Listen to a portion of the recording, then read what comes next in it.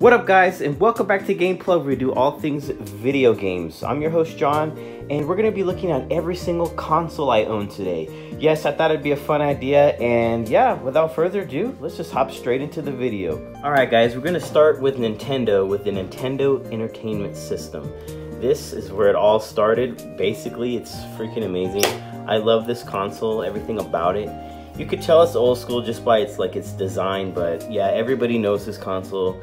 The games are freaking amazing, and yeah. Which moves us to the Super Nintendo. 16-bit graphics, definitely a cool system. A lot more slimmer than the NES. Um, yeah, this system right here just was really awesome as well. Had some crazy good games. This is kind of like where I feel like RPG started blowing up on the Super Nintendo. And man, I remember playing like Donkey Kong Country uh, and Super Mario World. This is, was just a straight up awesome console. But yeah, the Super Nintendo. We have the original N64. This is an absolute classic with four controller ports. This was this is what I like to call a good time, a party. This is definitely the party console you had back in the 90s. Uh, Mario Party, um, Mario Kart, Super Smash Brothers, four player. I mean, it was amazing. This is definitely a console you every kid had back in the day. And yeah, the original N64. I also have it in all gold, so I think this was a Toys R Us exclusive, but I'm not sure. Correct me if I'm wrong. But this looks freaking amazing. I love this console.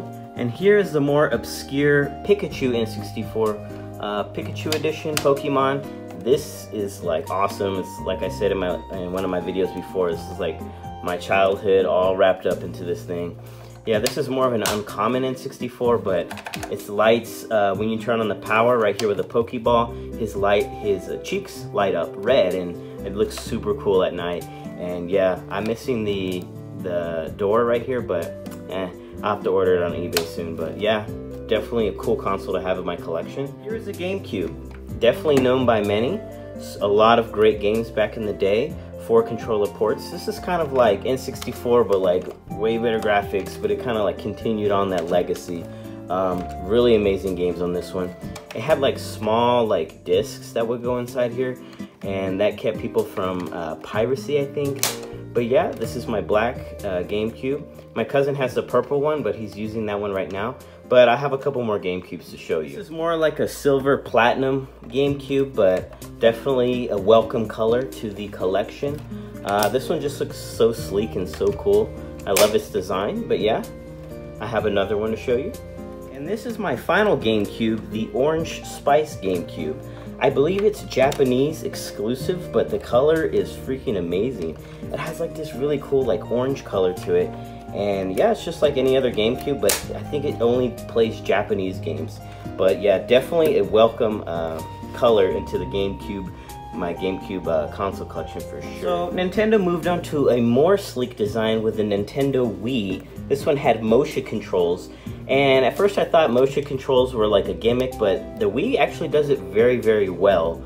And yeah, has the regular um, connections here in the back, USB, uh, this has like the red, white, and yellow connections, but the first models actually had a GameCube built in.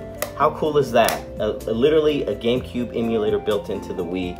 Uh, I love that feature. This is super awesome, and they went back to just regular discs at this time, but yeah, here is the original Nintendo Wii. I have the red Wii, which this color reminds me of Mario, so it is super awesome, and it also is GameCube compatible which is super awesome for this colorway. Love this thing. I have the turquoise blue Wii. This one does not have the GameCube backwards compatibility, but still a welcome addition to the Wii family for sure. I love this color.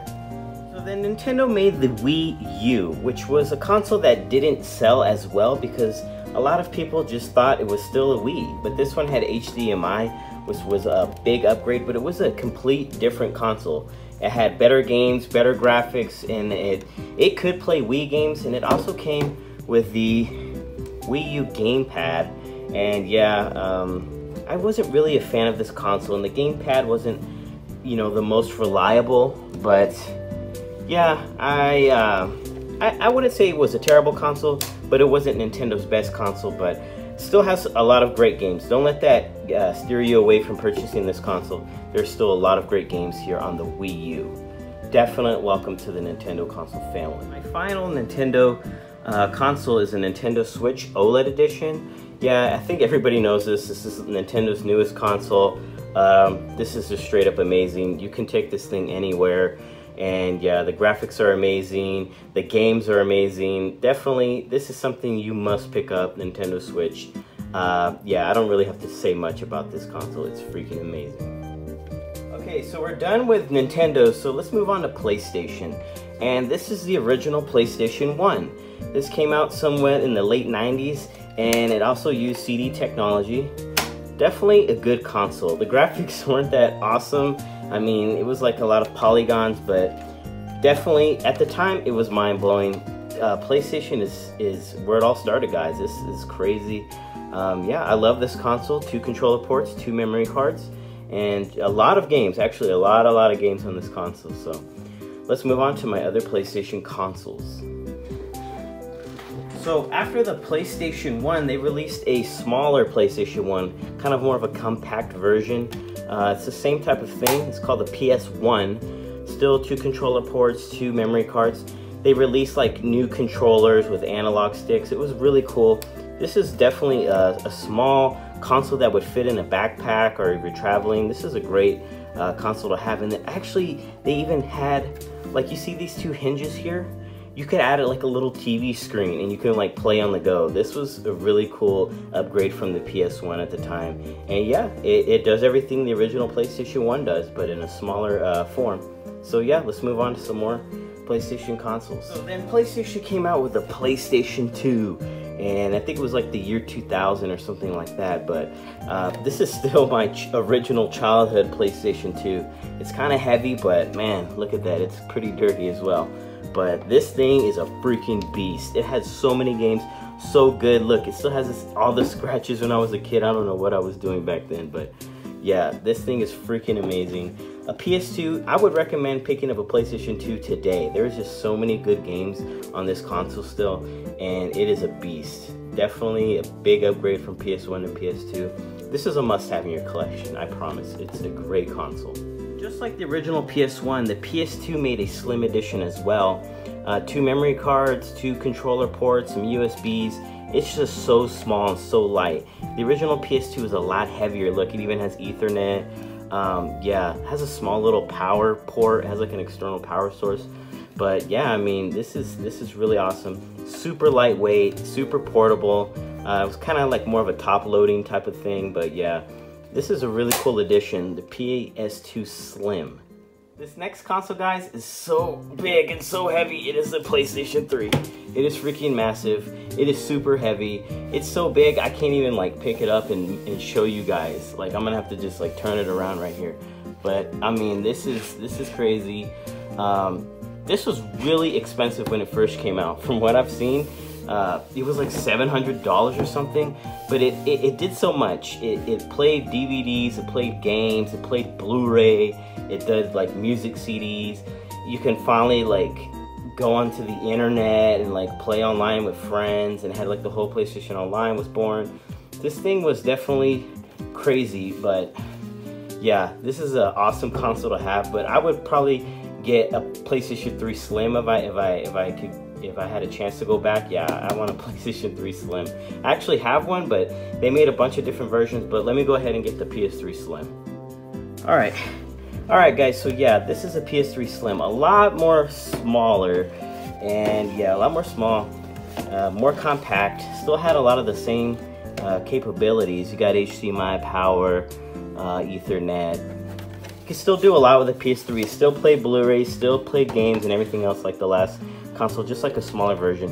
Uh, I feel like this one's more reliable too, but yeah, this is a PS3 Slim, so this was a lot um, better in my opinion than the last PlayStation 3. They also made like a top loading one that was even cheaper than this, but I don't have that one, but yeah. The PlayStation 3. Good console though, good console. Yeah guys, so I actually don't have a PlayStation 4. I know it's crazy, but I upgraded to a PS5 and I sold my PS4 uh, I think like last year. But yeah, I don't have a PS4, but the PS5 does play PS4 games. So yeah, let's go ahead and show the PS5. Yeah, I really don't want to disconnect my PS5 because it's like way back here, but yeah, that is a PlayStation 5. I feel like everybody knows that already, but yeah, there's the PS5. Freaking amazing. You already know that. Okay, so let's talk Xbox. This is the original Xbox, or a lot of people call it the OG Xbox. It's very, very heavy. This is Xbox like first attempt at a console, so it has a lot of uh, computer parts in it. Microsoft and yeah, has power, your basic connections right here. I see is that like an ethernet port. Um, really good games though, surprisingly. I really liked Xbox. It had some really good titles back in the day. But yeah, um, this is the original OG Xbox. Super heavy though, guys. Trust me, it's it's the big boy. So then here's the Xbox 360. A lot smaller than the original OG Xbox. Uh, the games are pretty good on here. Um, this is not the original 360. I think this is like the Xbox 360 i don't know if it's called s but yeah it's a little bit dirty as you see but um, the original one was like all white and it was a bit bigger and it suffered from the red ring of death if you don't know what that is look that up that's yeah no this one is a lot better a lot more efficient but it's the Xbox 360. This is the second console that Xbox made in their lineup. So let's go ahead and move on to the next Xbox I, I have. Okay, so here is the Xbox One. Yes, it looks like a VCR player, and it is actually pretty big and it's pretty heavy. Xbox makes like a lot of heavy consoles for some reason. I guess because they're more like computers, but yeah. Actually, a lot of ports in the back here. You see they have like Ethernet, HDMI, USBs, power, everything. But yeah, this is the Xbox One. Uh, this is the last Xbox console I have. I don't have any of the newer Xbox Series X or all that stuff. But yeah, this is the Xbox One. Good games. Uh, competed with the PS4, but yeah, super good. Alright guys, so we're gonna move on to some more kind of uh, obscure consoles or consoles that aren't talked about that much. This is the Sega Dreamcast, and this is the Sega Dreamcast Sports Edition, all black. This is one of my favorite consoles, honestly. Um, yeah, this console is freaking amazing. This is like, honestly, I feel like it was kind of like an Xbox in a weird way, if I could say that. I know it sounds crazy, but yeah, it was powered by the Naomi chip, and the graphics were like super arcade-like. Um, definitely amazing, amazing games like Sonic Adventure, uh, Skies of Arcadia. There was just so many good games, but this is the Sega Dreamcast Sports Edition. The original came like in a more gray color. This is more of a uh, collector's edition, but yeah, this is a, a great console and yeah, I feel like a lot of people slept on the Dreamcast back on the day. It failed miserably, but it is it is such a good console. Yeah, you got to pick one of these up, trust me. So we have the original Atari 2600. This is the, I think they call it the Darth Vader edition. I'm not sure. Uh, but yeah, this is basically where video games like started, was created. Like the Atari 2600 was one of the first video game home consoles there ever was. Uh, I, I, think there was some more before it, but I don't know that much about 70s and, and uh, video game consoles and before that. But this had a lot of good games, honestly. For such an old console, it, it had Pong, it had Yars' Revenge, Asteroid, Centipede, had all these really good classic games. But uh, yeah, I actually have an Atari 2600. Yeah, guys, so here is every single video game console I own currently in my collection. Yeah, so sorry about that, guys. My phone decided to die conveniently, so if you like this video, be sure to like, comment, subscribe to Gameplug, and I'll see you guys in the next video. Peace.